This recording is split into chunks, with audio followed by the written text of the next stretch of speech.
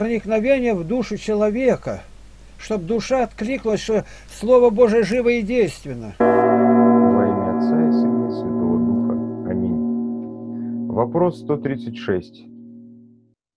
Если мать и отец крещены, и, следовательно, им прощен первородный грех, то почему ребенок наследует грех Адама?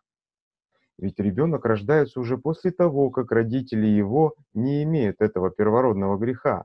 Как понимать? Ответ Игнатия Лапкина. Логичный вопрос и интересный. Действительно, можно зайти в тупик, если размыслить. Что касается рождения в грехах, то оспаривать не приходится. Псалом 50, 7 стих. «Вот, я в беззаконии зачат, и во грехе родила меня мать моя». Иов, 14 глава, 4 стих. Кто родится чистым от нечистого? Ни один. 1 Коринфянам 7.14. Ибо неверующий муж освящается женою верующую, и жена неверующая освящается мужем верующим.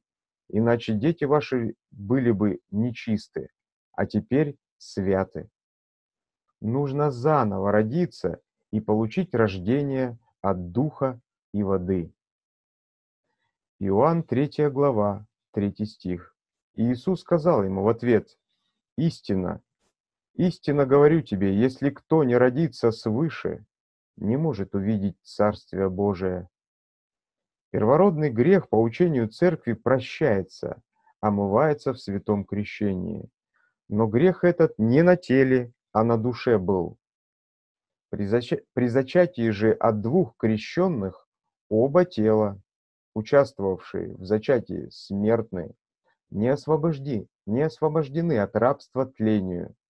Зачинается человек не от душ, получивших освобождение от греха в крещении. В этом и есть ошибка вопроса. Премудрость Соломона, 7 глава, 2 стих. «И я в утробе матерней образовался в плоть в десятимесячное время, сгустившись в крови от семени мужа и услаждения, соединенного со сном. По плоти же зачатие дает от двух смертных только смертное подобие.